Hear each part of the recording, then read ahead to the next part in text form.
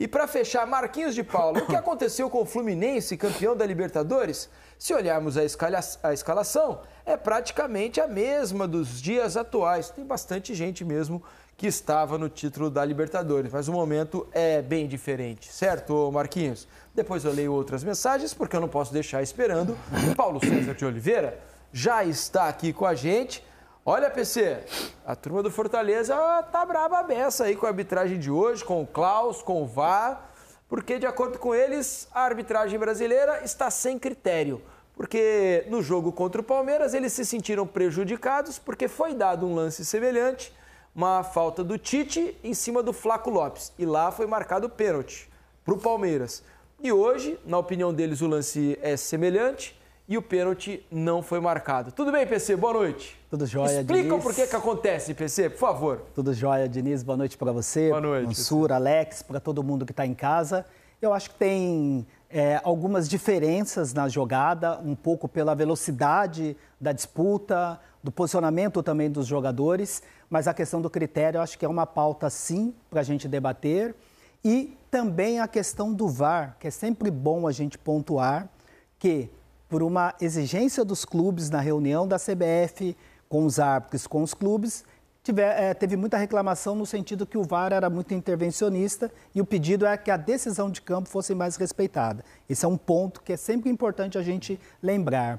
É, porque no jogo do Palmeiras, e a gente tem um lance, a gente vai mostrar na sequência para comparar, o Ramon Abate decidiu em campo e apesar da, da, de toda a discussão que teve em cima do lance, que eu acho que é bem no limite mesmo da interpretação, e eu considerei como pênalti o do Tite, mas diz, disse que o VAR não deveria interferir, porque estava uhum. ali no limite da interpretação, hoje, da mesma forma, é uma decisão de campo, que o VAR também respeita e esse é um protocolo que a gente espera sempre do VAR, porque quando não é lance assim 100%, Sim. você tem que respeitar a decisão de campo. O árbitro viu, julgou, teve a interpretação dele. Mas a, a, agora cabe a gente discutir se a decisão de campo é correta ou não, né? É o VAR ele é utilizado para corrigir erro claro e óbvio, mas não significa que a gente concorde sempre com a decisão de campo. Então, acho que é importante a gente citar um pouco da, da, das diferenças, mas Vamos rodar o lance aqui para a gente analisar, ver quem tem o domínio da bola, quem tem a preferência do domínio e como foi a ação do Thiago Silva. Vamos rodar o lance aqui. E aí, na câmera 1, acho que é até melhor uhum. para a gente poder analisar o impacto. Vou rodar na câmera 1, mostrar o replay, depois a gente volta na câmera 1, a câmera principal. Quem tem a posição e tem a possibilidade de dominar a bola é o Breno Lopes. Tem a chegada do Thiago Silva. O Breno, acho que até de maneira inteligente, chega a dar uma desacelerada mas na minha avaliação, o Thiago Silva é imprudente e ele faz uma carga nas costas do Breno com impacto. A gente vai deixar agora na câmera 1.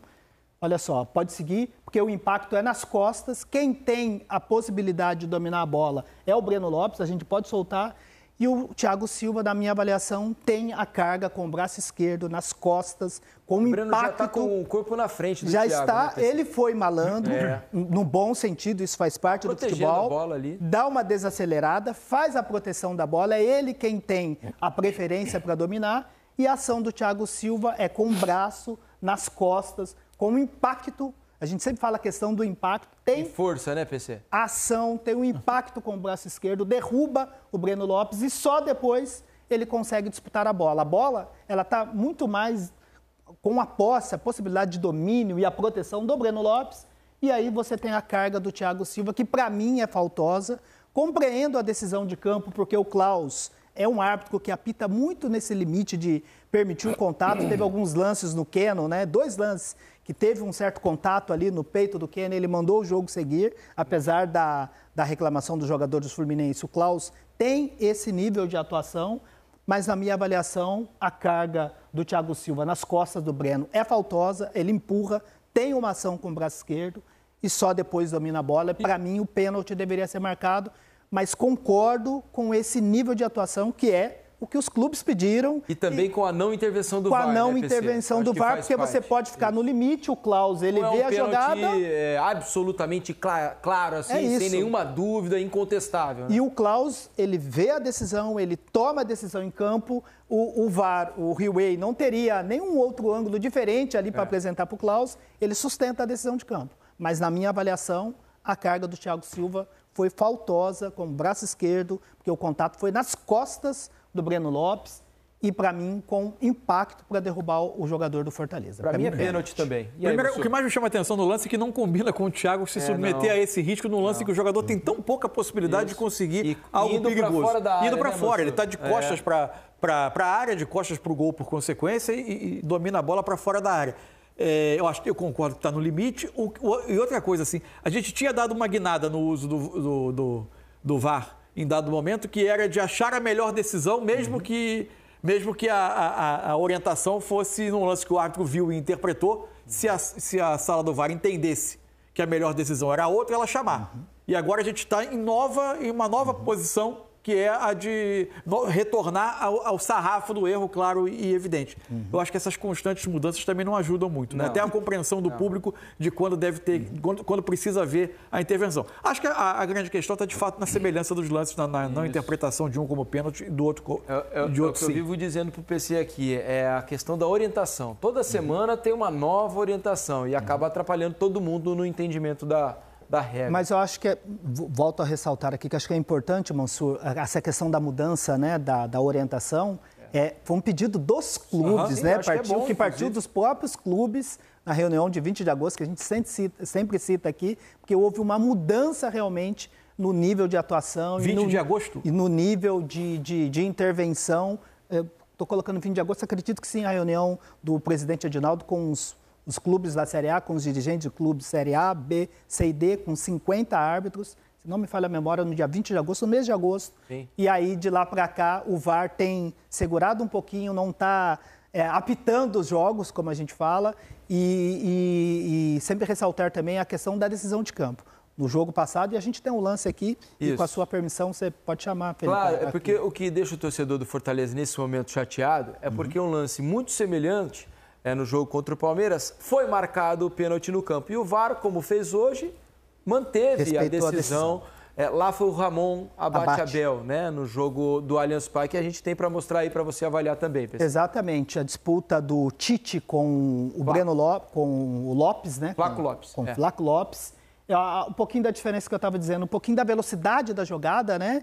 É, é uma jogada com um pouco mais de velocidade, mas na minha avaliação, e no último ângulo, se a gente deixar rodar, que é o ângulo do Ramon Abate. Também, né? Para mim é que é o, também, o ângulo é. do Ramon Abate. Né? É, concordo, Felipe. Também entendi como pênalti. Essa jogada dividiu bastante a opinião.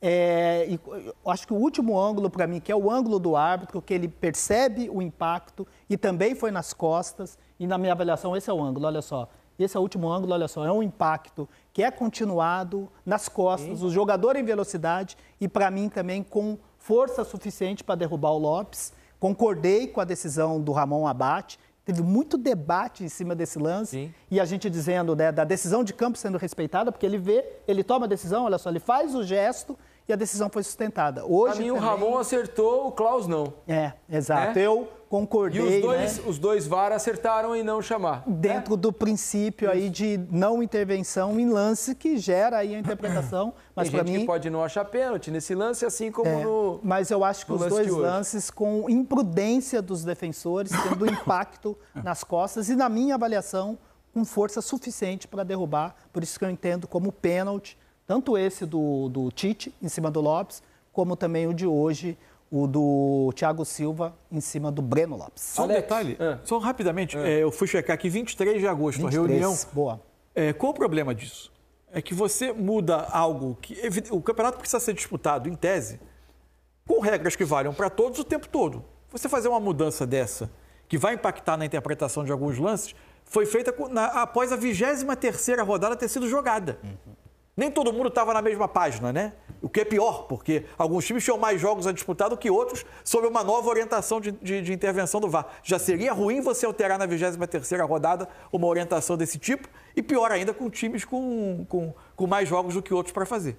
Alex, na sua época, você ia reclamar dos dois lances ou achar que é normal?